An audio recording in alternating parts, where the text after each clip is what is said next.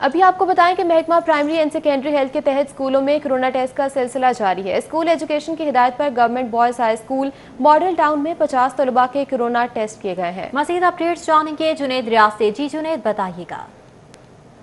जी वक्त हम model town में मौजूद हैं government APS boys high school में जहाँ पर रैंडम टेस्टिंग जो कि हुकूमत की जानब से हदायत की गई थी कि मुख्तलिफ़ स्कूलों में जो कि मुंतखब किए गए स्कूल होंगे वहाँ पर जो है करोना के रैंडम टेस्टिंग की जाएगी और इसी वाले से हम बात करेंगे एनवायरनमेंट इंस्पेक्टर खतीजा अनायत हमारे साथ मौजूद हैं, उनसे बात करेंगे उनसे पूछेंगे ये बताइएगा कि किस तरीके से जो है ये रैंडम टेस्टिंग की जा रही है ये प्राइमरी से और सेकेंडरी हेल्थ केयर की तरफ़ से सेक्रेटरी साहब की इंस्ट्रक्शंस थी कि जैसे ही स्कूल्स रीओपन होते हैं क्वारंटाइन पीरियड्स के बाद तो स्कूल्स की सिलेक्शन करके वहाँ पे फाइव परसेंट बच्चों की रैंडम सैम्पलिंग करेंगे।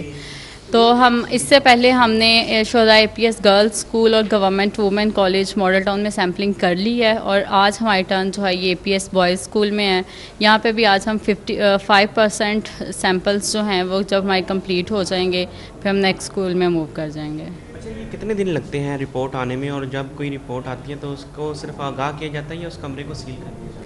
24 टू 48 आवर्स लगते हैं सैम्पलिंग आने में और रिपोर्ट आने में। और जैसे ही रिपोर्ट आती है, हम कंसर्न को इन्फॉर्म कर देते हैं। अगर तो पॉजिटिव होती है तो फिर उसके एसओपी के मुताबिक प्रोटोकॉल फॉलो करके उनको होम आइसोलेट किया जाता है। और अगर रिपोर्ट नेगेटिव होती है तो फिर आइसोलेशन की ज़रूरत नहीं होती।